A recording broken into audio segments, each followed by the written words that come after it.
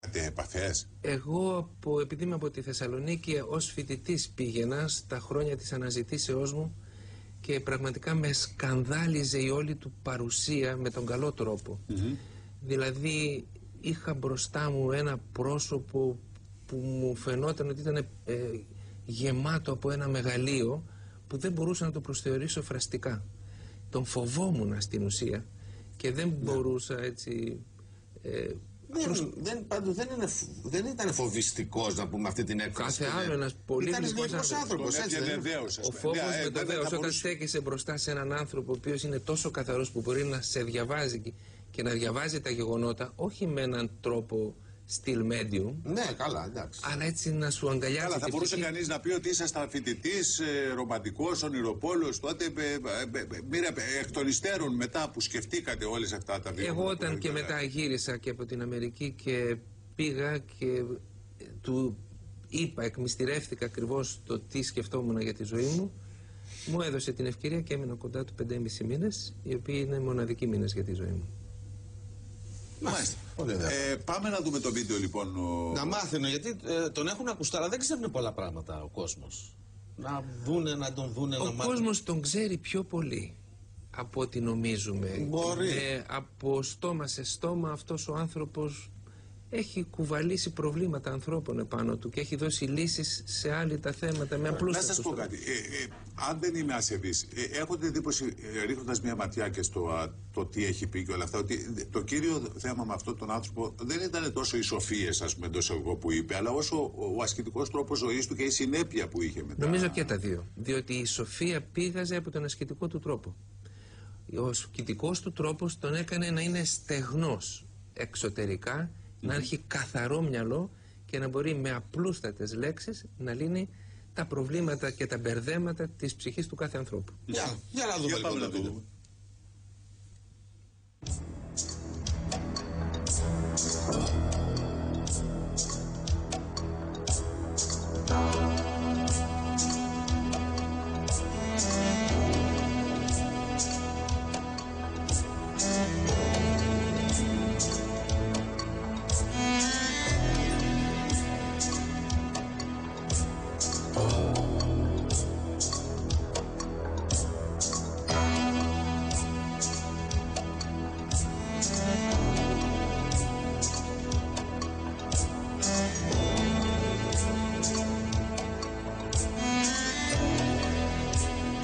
Δούμε. Έμεινα μαζί του σε μια, μια περίοδο 5,5 μηνών στο κελί της Παναγούδας στις, ε, που είναι κοντά στις καριές.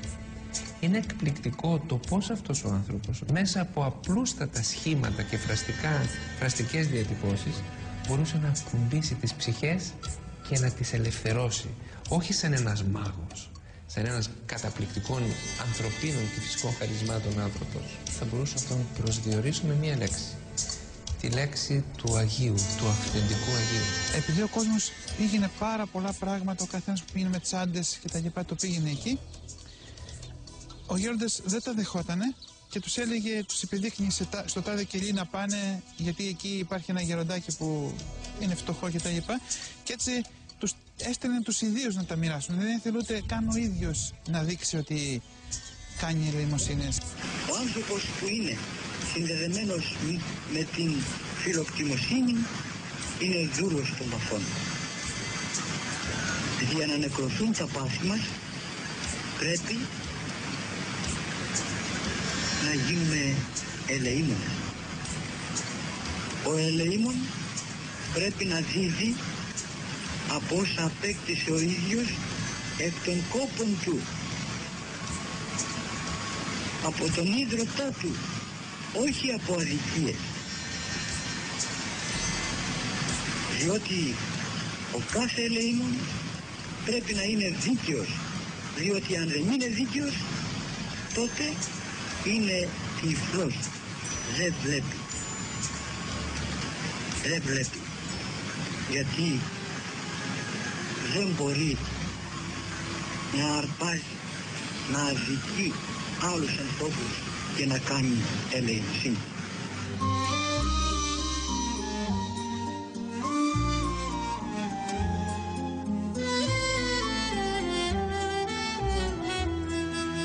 Καθοδήγησε πνευματικά, παρηγόρησε πονεμένους. Με το πνευματικό του ανάστημα έκανε χιλιάδες ανθρώπους από όλη την Ελλάδα να σειραίουν στο Άγιον Όρος για να ακούσουν το λόγο του.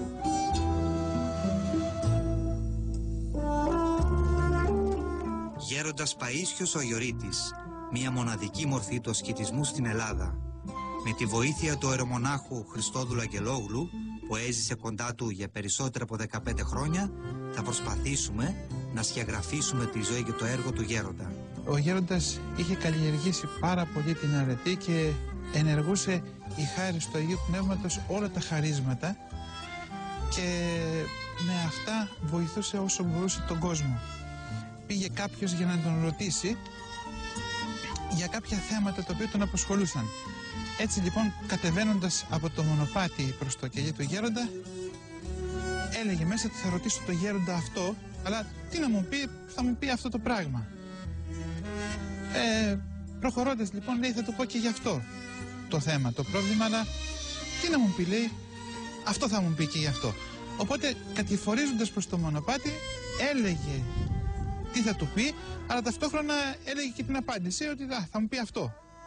Οπότε όταν έφτασε στο γέροντα εκεί χτυπάει, βγαίνει ο γέροντας του λέει τι θες βρε Λεβέλη. Λέει γέροντα θέλω να σας ρωτήσω κάποια πράγματα. Του λέει τι να με ρωτήσεις ρε παιδάκι μου λέει εσύ ρωτάς και απαντάς μόνος σου. Εξομολογήστε το Κυρίο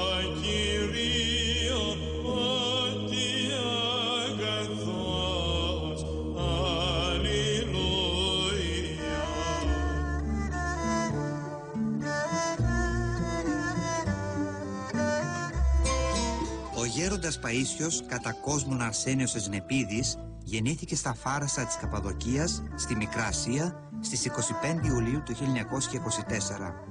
Λίγο αργότερα, με την οικογένειά του, εγκαταστάθηκαν στην Κόνιτσα Ιωαννίνων, όπου και τελείωσε το δημοτικό σχολείο με καλό βαθμό.